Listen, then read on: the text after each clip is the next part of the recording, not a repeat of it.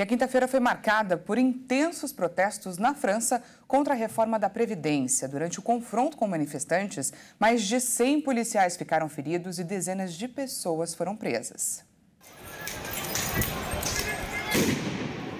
O nono dia de protestos na França contra a reforma da Previdência imposta pelo presidente Emmanuel Macron voltou a mobilizar mais de um milhão de pessoas.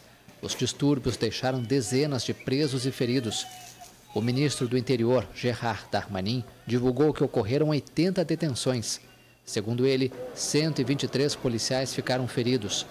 Os sindicatos já tinham alertado Macron por carta sobre a explosiva situação do país. O líder da central sindical CGT, Felipe Martinez, acusou o presidente nesta quinta de jogar um tanque de gasolina ao fogo com sua polêmica entrevista na quarta-feira.